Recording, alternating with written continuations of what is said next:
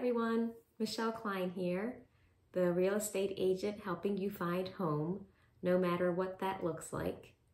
Thank you for joining me again for this week's vlog. I am going to be talking about what seems to be on everybody's mind these days. Is it a good time to buy or sell right now in Warrington, Pennsylvania and the surrounding Bucks and Montgomery counties? I'm going to start off by saying that none of this is intended to be financial, mortgage, or legal advice of any kind. Uh, please always consult with the proper professionals before making any kind of commitment or decision. So getting right into it, we all know that interest rates are high right now. And it's no surprise that people who have a 3% or roundabout their interest rate on their homes right now are not interested in moving unless they have to. So right now it seems as though rates are kind of as high as they're going to go. This week, I think they're in the high six or low sevens. Most mortgage professionals don't think they're going to get much higher. Some mortgage professionals do believe that they're going to be going lower in the near future uh, definitely by the end of this year, beginning of next year, as we go into the presidential election year. So, what that means is that it gives you some kind of stability. You know, every day they're moving up and down a little bit, but they're not going to get much higher than this, according to most recommendations. And according to most those recommendations also, they are going to go a bit lower in the near future. So if you want to buy right now, you not only have some stability on where the rates are, but you have some comfort that they are going to be going down. And a good mortgage consultant will know when is the best time for you to refinance, when it makes the most sense with points and everything that's involved. Another thing to note is that right now, most mortgage consultants can keep you at in the 6% range using discount points. So historically, 6 to 7% isn't that high. Interest rates historically have gone as high as 12%. They are not as low as we'd like to see them, but it's not something that should keep you from purchasing a house if that's what's the right move for your family at this time. The other side of that is the fact that those homeowners with low interest rates aren't selling unless they have to. So who's moving? The people who are moving are people who need to move, people who um, can no longer stay in their home due to age. They're moving on to 55 plus communities or assisted living communities or estates where the homeowner has passed on. We have people who are bursting at the seams, growing families. They are needing to move. Um, and life stages changes, uh, divorces and uh, work career changes career location changes. So it's people who need to move. Those who are feeling the itch to move or, or make a lateral move or a bit of a an upgrade, they're not hopping to it at this point in time.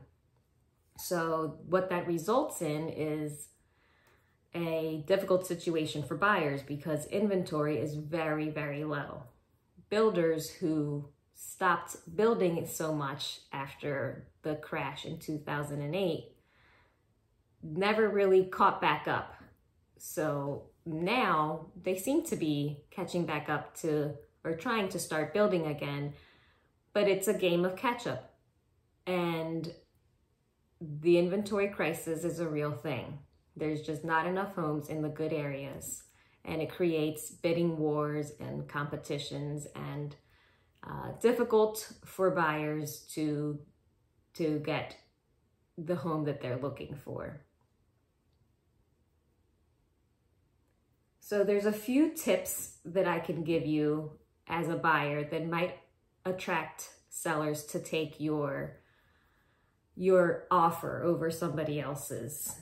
You know, the, the usual things that people are doing, make sure your agent is asking the selling agent what the buyers, what the sellers need. If they need to stay in their home until a certain time, you can make your offer more attractive by saying that you don't, you, you won't, they, there'll be a lease back and they can stay in the home.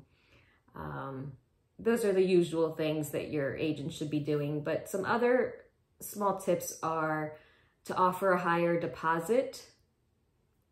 Again, you don't want to offer more than you have to, but a higher deposit will communicate to a seller that you're serious and you're not going to easily back out once you get the home because what a lot of people are doing is they're they're making these aggressive offers be, to get the house that they want because they've lost other homes. And then once they are the winning offer, they feel some regret and they're backing out. And sellers are seeing this and then their home has to go back on the market and they have to start the whole thing over again, which is unpleasant. So if you can communicate to your seller that you're serious uh, and you're not going to easily back out uh, over those emotions and those feelings, then uh, you make your offer more attractive. There are mortgage agents, not many. I work with several that can give you an edge. They can give you a commitment commitment letter before you choose your house. So the underwriting would be done on you as the buyer and then it just waits on the appraisal. That allows you to remove your mortgage contingency and compete with cash buyers. There is some small risks if you were to lose your job or if the appraisal did not cover, you'd have to you'd have to fill that gap. But if you're willing to take those small risks and you're speaking with a very savvy mortgage agent, that could give you an edge uh, on your offer over cash buyers. Uh, if, if possible, receiving gifts, cash gifts is an option and will also give you an edge over cash buyers because that could afford you the ability to waive the mortgage contingency. It doesn't mean you can't get a mortgage, but it shows that you don't need a mortgage.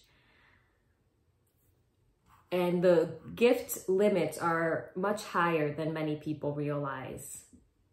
Uh, again, those are all things that you would want to run by your accountant and your mortgage professional. I am happy to uh, recommend mortgage professionals as well because I'm confident with how they with how they run their business. So the answer to the housing crisis right now, hopefully those tips will help you, but the answer to the actual housing crisis right now is is sort of sitting on sellers and new construction. Sellers uh, need to start selling their homes and that will happen as the market regulates and but new construction is really going to help and the right buyer's agent can see deals where maybe other agents can't for example maybe there is an older home that sits in the perfect location on the perfect lot and it even has a nice sized basement and making it into a uh, tear down even though it's not marketed as a teardown, might be the right move for the right buyer. That's something that only a savvy agent would see. And they would know the right construction loan people to speak to because there are construction loans that only have underwriting one time that you own you you lock in your rate and you only pay your fees at one time then you you do the construction and you have uh, you finish your your loan on the rate that's already been locked in from new construction um, to possible new subdivisions to bare land or tear downs. There's a lot of new construction options out there and you just need the right people in your corner to help you find them. Uh, lastly, if you are one of those homeowners who would like to move from where you are, but you are so happy with your mortgage rate and don't want to move from it, I I can speak to you because the median sales price for Bucks County was up from May 2023 of last year, uh, from May of last year to May 2023 of this year. Home prices are still sitting pretty strongly and it remains a seller's market. So listing your home can benefit you financially, even if you're changing from your interest rate. If there's a compelling reason to move, uh, I'd say that it, it, it, there's not a need to, to put it off if you are unhappy with where you are because you are still in a seller's market and you are still getting top dollar for your home. And, you know, as as you do something that benefits your life, you would be helping the inventory crisis and could be providing a uh, stable home for a growing family that no longer fits your own needs. So there's the warm and fuzzy part of it as well. And if you're a buyer in this frustrating and complicated market, I feel for you. And you need the right agent to help you find your roots in the community that you want to be in.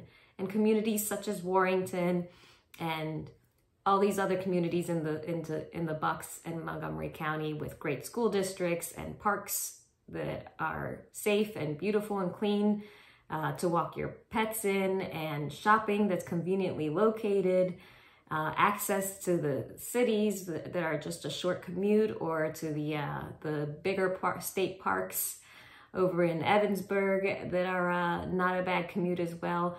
There's no secret. This is a wonderful place to call home.